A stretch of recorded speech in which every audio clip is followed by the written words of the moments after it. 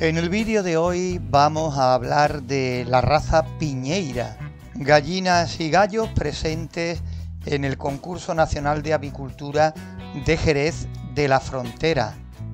Esta raza estuvo en serio peligro de desaparecer, motivado porque se introdujo en Galicia, de la cual procede, otras razas que supuestamente eran más ponedoras para diferentes explotaciones.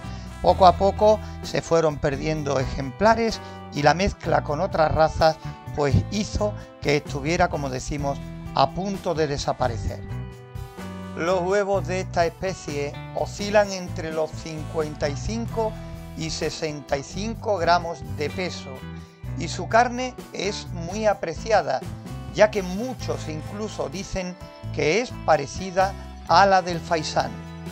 Por si fuera poco, su pluma también es apreciada para la fabricación de señuelos para la pesca. La gallina de raza piñeira es capaz de poner 150 huevos al año aproximadamente en condiciones naturales, esto es, sin alimentos especiales ni luz artificial. Pero si ponemos más cosas a su favor, puede llegar hasta los 180 huevos al año.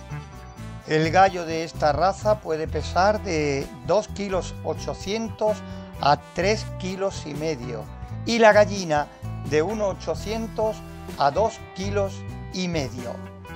Son algunos datos de esta raza que ha ocupado hoy un tiempo en nuestro canal de incubadoras caseras, la raza piñeira.